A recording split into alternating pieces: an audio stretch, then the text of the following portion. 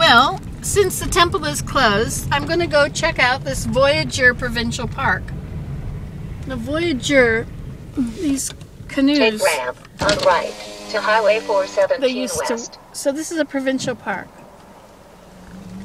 which of course I'm not going to be able to get into because look at it.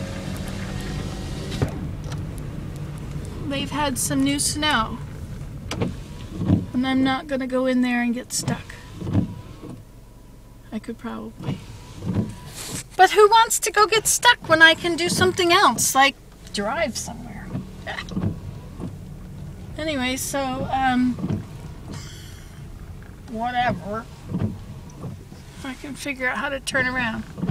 Maybe that's the best place for turning around is right there.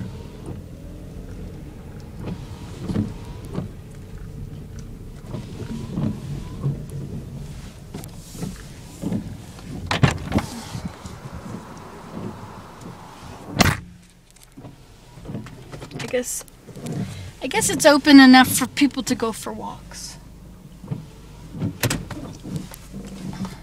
Okay, well, I guess that was so much for the Voyageur Provincial Park. I'm not going for a walk. Sorry.